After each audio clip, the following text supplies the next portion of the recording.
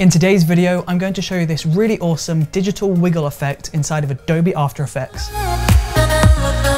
Hey what's up, it's Chris from Brooker Films and in today's video I'm going to show you this really awesome and really creative transition called the Wiggle Transition.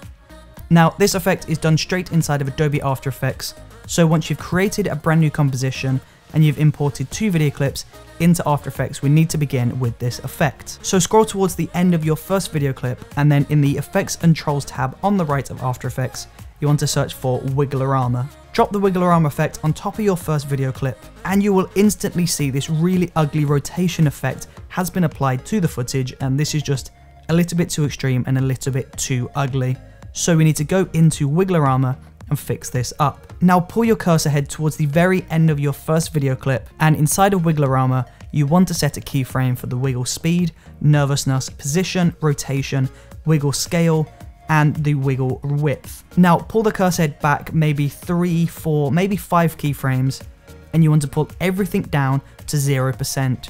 So the wiggle speed goes down to zero, the nervousness can go down to one, wiggle position goes back down to zero, rotation zero, wiggle scale zero, and then wiggle width back down to zero. So from here, we're just going to add a little bit of separation in between those keyframes just so we can really see this effect take place.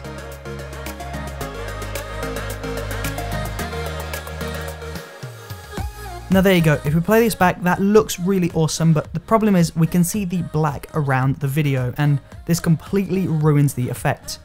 So in the Effects tab on the right of After Effects, we need to search for Motion Tile, and we'll drop Motion Tile on that first video clip. Now in the settings for Motion Tile, we want to pull the output width and the output height both up to 300%, and then we want to select Mirror Edges. Now pull the Motion Tile effect above Transform and Wigglerama and by doing this you can see that After Effects has copied the edge pixels from the video to extend the width of the video, therefore removing the black background. Now from here we're going to move on to the second video clip, so we're going to copy the motion tile effect from this first clip and we'll paste it onto the second clip. And then from there we need to apply Wigglerama to this second video clip, so we'll go back into effects and presets and search for Wigglerama. Now making sure you pull the cursor head back to the very beginning of the second clip, you want to create a keyframe on all of the settings inside of Wigglerama. Now push the cursor head maybe 6 or 7 keyframes to the right and pull everything down to the lowest number possible. So wiggle speed is 0, nervousness is 1, position is 0, rotation is 0,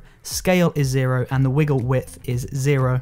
Now when we play this footage back, the wiggle effect is complete, the wiggle transition is there, but we can see the mirroring of the footage and this looks a little bit too ugly and amateur.